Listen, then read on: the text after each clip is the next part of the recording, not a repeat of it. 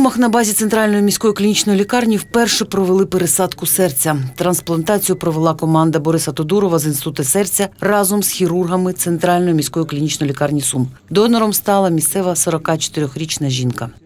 Потрапила вона ну, ургентно в екстреному порядку з великим крововиливом, який був несумісний з життям. Е, Донору було 44 роки. Були всі обстеження проведені.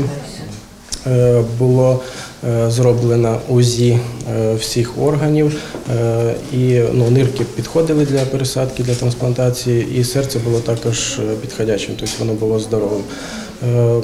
Далі було повідомлено фахівців з інституту серця. Була, був зв'язок з Борисом Михайловичем. Вони погодились приїхати і допомогти в плані трансплантації. Вони привезли свого реципієнта, який підходив під серце.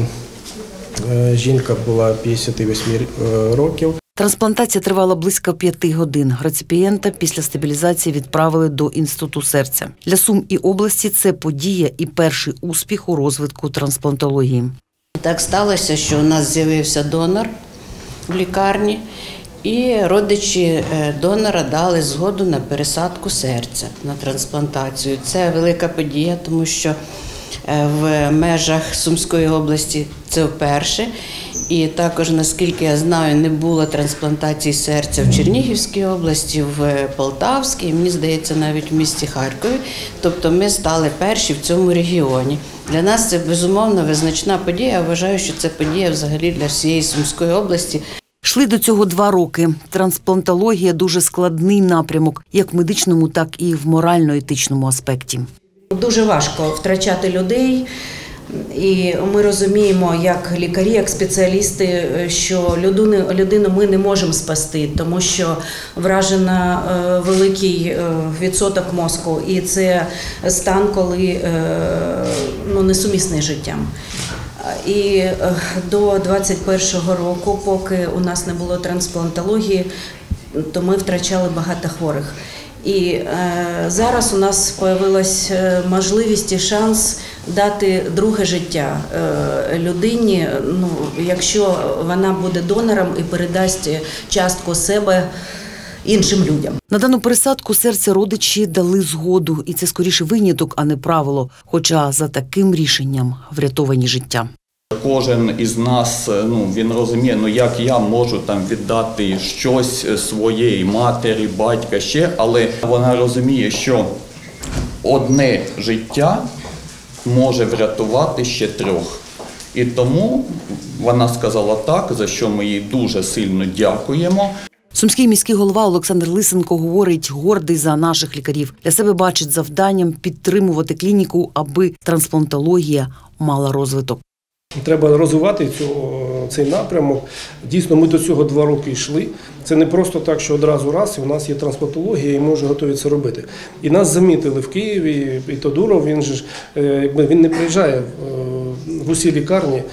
Вони спостерігають розвиток лікар, лікар, е, лікарень, е, розвиток медичної галузі. І там, де вже є, така можливість, він спілкується, і потім він вже приїжджає. Він особисто проводить операцію, і це якби не випадковість. Директорка клініки Валентина Домінас говорить, дорогу осилить той, хто йде, і пройде небагато часу, і їх лікарі ще покажуть клас у надскладному напрямку медицини, яким є трансплантологія.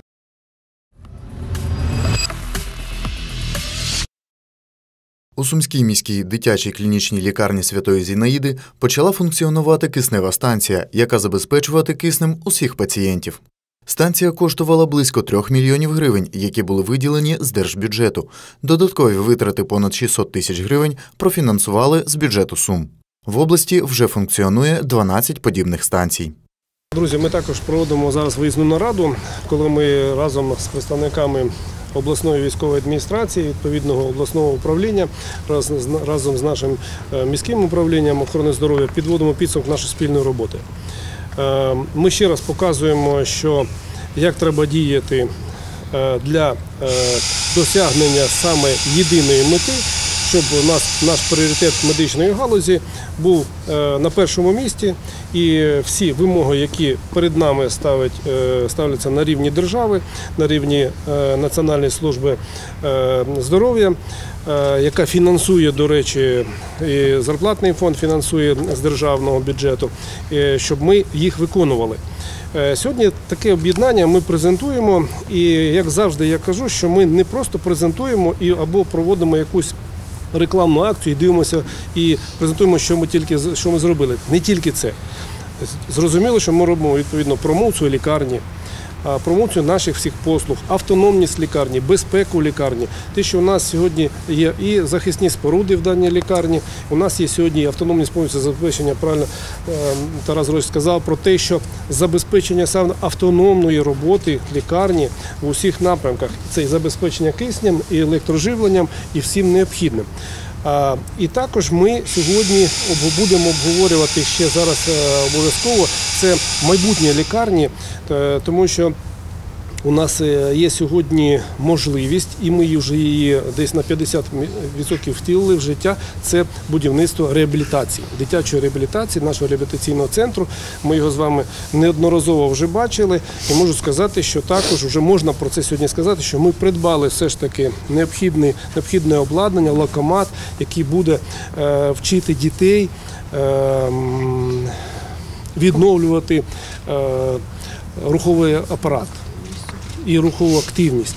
Е, В області, я так розумію, його немає. Його не тільки Це- в області, його немає ні в Полтаві, це ні в Харкові. дороговартісне обладнання, і ми все ж таки погодили з обласною адміністрацією ще в минулому році, перед новим роком, для того, щоб придбати цей апарат. Я так розумію, що він вже завезений. Так, так. Я думаю, що ми також будемо е, відповідні проекти е, подавати і на обласну адміністрацію, і на державний рівень для того, щоб ми разом спільно, тому що ми спільно це робимо цей проект, щоб ми спільно також його завершили. Для безперебійної роботи кисневої станції потрібне додаткове обладнання, говорить заступниця голови Сумської облдержадміністрації Олена Бойко. Ми завжди рекомендуємо закладам і громадам, які роблять цей комплекс, щоб вони подбали про додаткове обладнання, яке дозволить потім з кисневих станцій заправляти кисневі балони. Тобто це треба додаткове обладнання купити. Воно не є дорогим, але в такому випадку, по суті, е, лікарня є абсолютно автономною і незалежною від постачання кисню. У нас є виробник на території міста Суми, який Е, в незважаючи на військові дії в минулому році в два рази збільшив виробництво кисню. Зараз вони виробляють 12 тонн на добу. Пікова потреба у нас по області була 10 тонн на добу. Зараз вони вийшли на обсяг 12 тонн на добу. Але все буває. Є технічні процеси виробничі. Вона може ставати на ремонт, ця киснева станція.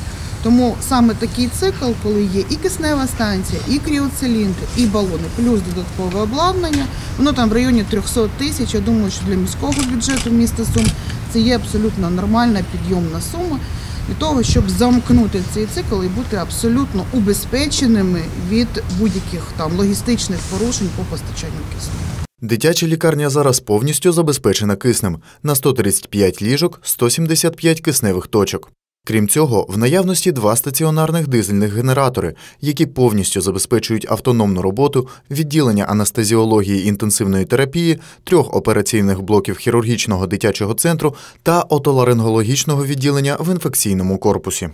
Киснева станція, яка в нас е, зараз е, знаходиться, вона в нас дуже успішно функціонує на сьогоднішній момент. Після того, як ми її 13 грудня ввели в експлуатацію, у нас знаходяться діти в відділенні е, анестезіології з ліжками інтенсивної терапії, які потребують кисневої терапії, і вони в нас повністю зараз знаходяться на кисневій станції. Те, що зараз озвучила адміністрація військова, це все вірно. У нас є переход. Перехідник на другому поверсі. Якщо киснева станція виходить з ладу, в нас підключаються зразу кріоциліндри. І кисень іде, е, е, ось ми бачимо на рогі е, крани, де переключення, і кисень іде від кріоциліндрів. Тому ми повністю забезпечуємо киснем пацієнтів, які цього потребують. Що стосується відключення електропостачання, У нас в закладі є два, е, два стаціонарних великих дізель-генератора. Ви їх також бачите. Е, Під дізель-генератори підключені е, відділення першої черги. Це відділення анестезіології з ліжками інтенсивної терапії. Це три оперблока хірургічного центру дитячого, яке знаходиться у нас. І це в інфекційному корпусі отоларингологічне відділення, де зараз у нас розташоване педіатричне відділення. Вони повністю підключаються. Плюс в нас є три е, е, портативних е, генератора. Це ми дізель-генератори. У нас є три портативних бензинових генератора. Один на 20 кВт. Ми зараз плануємо. У нас ми вже знайшли мецената, які нам зробили площадку. Ми плануємо його ми його отримали від ЮНІСЕФ і плануємо підключити під харчоблок для того, щоб коли йде відключення електроенергії, ми могли дітям готувати да, приготувати харчування. І два в нас є кіловатних бензинових генератора на випадок, якщо вийдуть з е, налаштування. Ну не будемо говорити, якщо буде якесь масове таке е, ну, відключення, ми можемо в принципі на 1 кВт, у нас два теж генератора є, які нам доставили теж волонтери ще на початку е, вторгнення Російської Федерації. Заклад має на 23-й рік е, погоджений від НСЗУ пакет готовності, е, тому тут передбачений алгоритм дій у разі необхідності розгортання додаткових ліжок. Тому, можливо, ті 130% е, і будуть в нагоді, якщо буде необхідність розгортання додаткового ліжкового фонду у випадку, якщо будуть якісь спалахи інфекційних захворювань, бо це саме є госпітальна база і по е, інфекційним захворюванням для дітей всієї області. Також за кошти бюджету громади для реабілітаційного центру дитячої лікарні придбали локомат, призначений для інтенсивної функціональної терапії опорно-рухового апарата. Такого обладнання немає ні в Сумській області, ні в сусідніх.